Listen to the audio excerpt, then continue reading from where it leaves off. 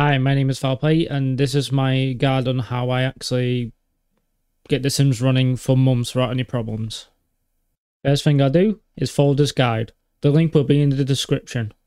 Second thing I do is set the rebar size limit and features to be enabled for The Sims 3.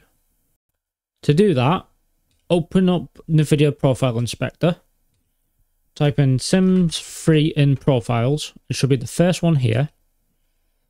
Go straight down, and these are the settings I have. I have enabled Returnal Red Dead Redemption 2, and this one should be Dragon Age and Deathloop. That's all I do from here.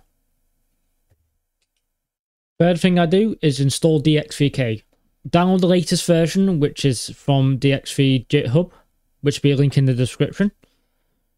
As as the link for the NVIDIA Profile Inspector will be in the description as well, so make sure you check the description. Once the XVK is extracted, we have two folders. We want the X32 and we're going to place D3, D9, DLL into the game folder. Once the game folder is located, I actually put it into game, bin, and drag and drop this the D3, D9, DL into here. That means DXVK is installed. The only thing is, we're not finished here. We need a specific file from DXVK GitHub page. Look for dxvk.conf. Click on it.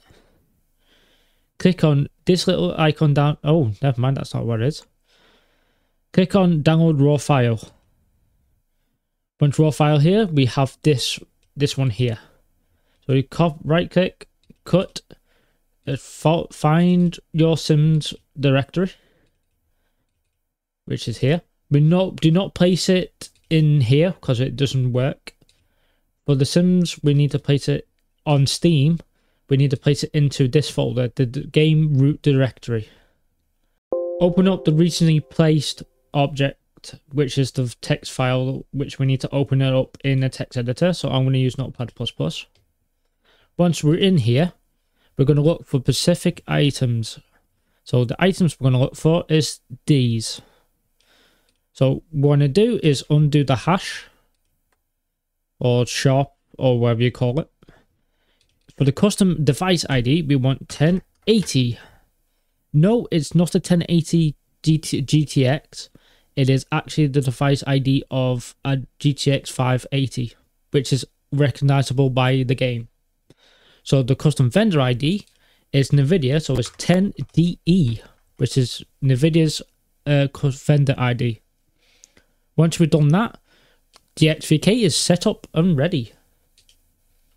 Just to show you how to limit the frame rate in the game, because I missed a step, right click and open up dxvk.config file.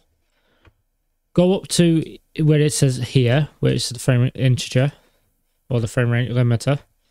We're going to type in 60, which is on the DX3D, sorry, D3D9 max frame rate. Set that to 60. Now your game should be 60 FPS most of the time.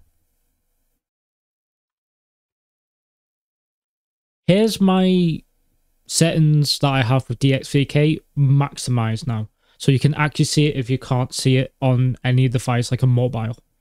So again, D3D9 max frame rate. D3D9 custom device ID, D3D9 custom vendor ID. Last thing I do is modify the cast values. So make sure you go to the latest episode you have installed. For me, it's episode 11, which is the latest one, which is into the future. Double click, go to game, go to bin. Where it says default.ini, right click, edit with Notepad++. Plus Now, we're under CAS or CAS, we want to modify these. So what do value do we set them as? Well, it's a really simple number actually. So let's go and do the calculator. So what we want to do is do 2 to the power of 31 minus 1, which is this number, which is 2 billion and whatever the heck. Once we've done that, where it says compose a cast size, right double click or highlight it and right click and click paste. Highlight it, the second one, right click and do paste. File, save. Once that's done, that's it. We don't need to do anything else with The Sims anymore.